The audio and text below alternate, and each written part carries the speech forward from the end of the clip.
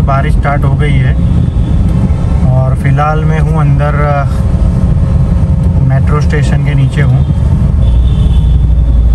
तो बारिश चाहे कितनी भी हो या पानी के गड्ढे भरे हो, पर मुझे बिल्कुल भी वो टेंशन नहीं होता है कि यार गाड़ी उसमें फंस जाएगी, ऐसा कुछ होगा। क्योंकि आप जानते हो कि नैनो का ग्राउंड क्लियरेंस जो है, वो काफ़ी अच्छा है और रियर व्हील ड्राइव है तो कोई ऐसी दिक्कत नहीं होती है।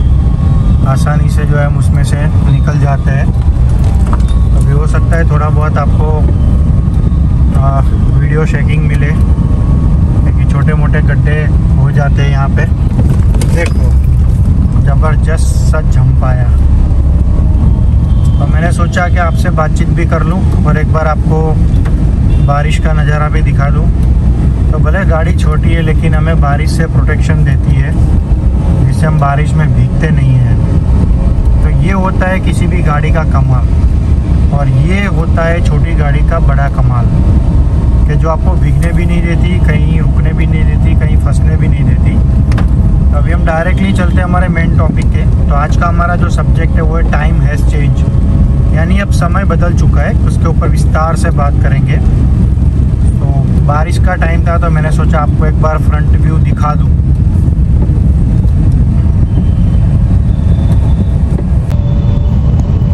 सो एज़ यूजल मैं हूँ नैनो में। और एक हाथ से फ़ोन मेरे हाथ में है। और उसी हाथ से मैं गाड़ी भी ड्राइव कर रहा हूँ। क्योंकि मैं बता चुका हूँ कि ये वन हैंड ड्राइव कार है। तो आप इसको आसानी से चला सकते हो, बिना रुकावट के।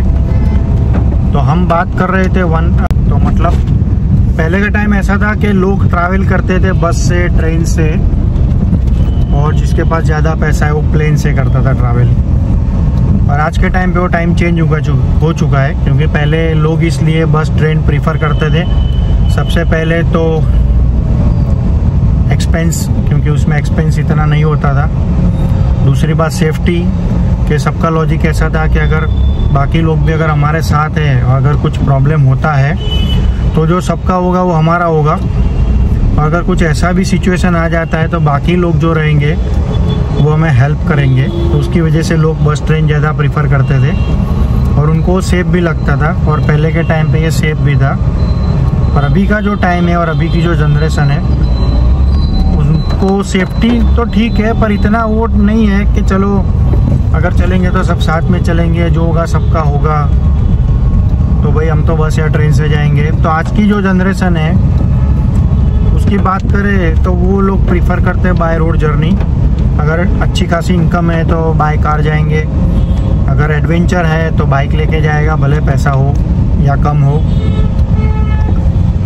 तो ये नॉर्मली चीज़ें हो गई कि लोग पहले जो प्रीफर करते थे ट्रांसपोर्टेशन में और आज लोग जो प्रीफर करते हैं उनकी सोच है, उसमें काफ़ी सारा बदलाव आ चुका है। पहले अगर एक स्टेट से दूसरे स्टेट में अगर जाना है तो हम लोग ट्रेन या बस यूज़ करते थे, जैसा मैंने पहले बताया। और अगर ओवरसीज में जाना है तो प्लेन यूज़ करते थे। पर अभी का टाइम ऐसा हो गया है और डेवलपमेंट भी इतना हो चुका है कि लोग बाइक पे भी अदर कंट्री में जा चुके हैं अदर स्टेट में भी जाते हैं बाय कार भी जाते हैं अदर कंट्री में या अदर स्टेट में। तो मतलब अभी लोगों के अंदर एडवेंचर वो आ चुका है, चाहे इनकम हो या ना हो, कैसे भी करके जुगाड़ कर लेंगे। पर रोड ट्रिप करनी है। तो लोगों के अंदर रोड ट्रिप का जो भूत सवार है ना, वो कमाल का है। तो आजकल कोई नहीं देखता है कि भाई मुझे बस ट्रेन से जाना है। लोग डायरेक्टली बोलते हैं कि भाई छोड़ो ना, वो कौन धक्कम धुक्की में जाएगा या बस के लिए दो घंटे खड़ा रहेगा, या ट्रेन टाइम से शेड्यूल है या नहीं है। वो सीधा बाइक है तो बाइक का सेल मारेगा या किक मारेगा। गाड़ी है तो गाड़ी का सेल मारेगा। और सीधा गाड़ी लेके निकल जाएगा। आजकल किसी के पास उतना टाइम नहीं है कि भाई वेट करे ट्रेन के लिए बस के लिए। बस जो भी उनके पास व्हीकल है, वो लेके निकल जाते हैं। और अभी कितना सेफ़ हो गया है रोड की कंडीशन आप अगर एक स्टेट से दूसरे स्टेट जाना है तो काफ़ी सारी फैसिलिटी मिल जाती है। रेस्टोरेंट बहुत सारे हो गए हैं। लोग भी काफ़ी सारे हेल्प करते हैं। प्लस एक अपना खुद का ओपिनियन होता है ना कि चलो मन किया तो रुक गए। मन किया तो निकल गए और मन किया तो कहीं आगे और चले गए। तो ये चीज़ आजकल बहुत पॉपुलर हो चुकी है, जिसकी वजह से लोग बाय रोड जर्नी ज़्यादा प्रीफर करते हैं। एक बार फिर से मैं आपको फ्रंट व्यू ले चलता हूँ और बातचीत कंटिन्यू करेंगे। तो हल्की हल्की बारिश हो रही है। इतनी भी खास नहीं है। तो हम जा जा भी रहे हैं और बातचीत भी कर रहे हैं।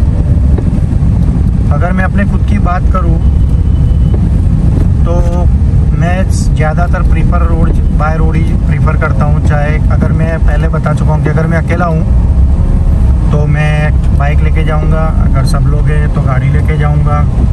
क्योंकि अगर मैं कॉस्ट वाइज कैलकुलेट करूँ, बाकी सबका और मैं मिला के तो मेरा कॉस्ट उतना ही आएगा जितना मैं अगर पर्सनली व्हीकल लेके जाता हूँ। तो अगर मुझे सेम एक्सपेंस करना है तो फिर मैं क्यों फालतू में वो भीड़ भाड़ के चक्कर में पड़ूँ या लाइन में खड़ा रहूँ वेटिंग के लिए।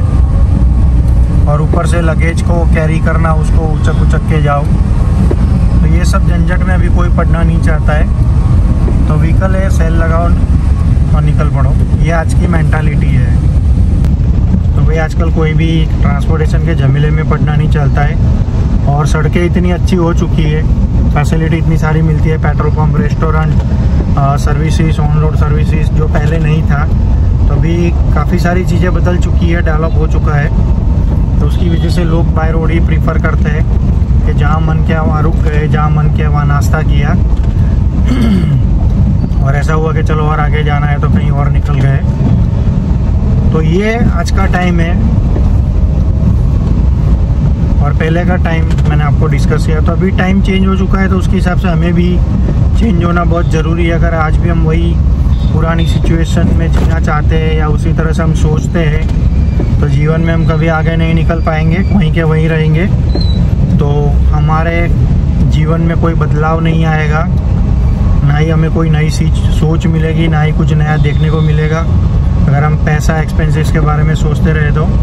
क्योंकि एक्सपेंसिस ऐसी चीज़ है जो आपके लास्ट सोल तक वो चलता ही रहेगा।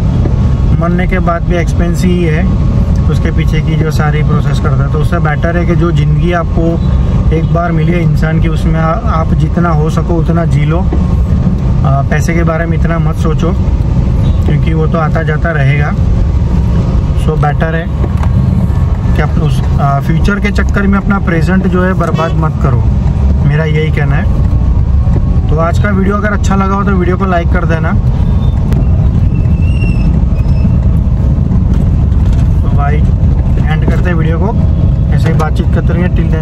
भाई एंड